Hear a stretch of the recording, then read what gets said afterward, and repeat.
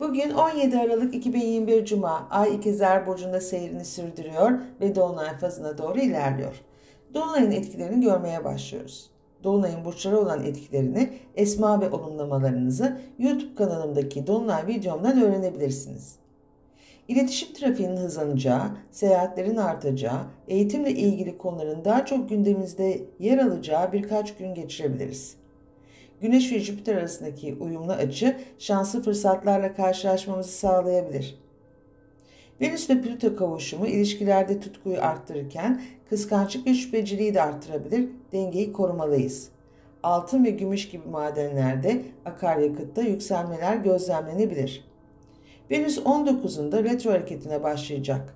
Önümüzdeki 40 gün boyunca hem ilişkilerimizi hem de maddi kaynaklarımızı korumalıyız.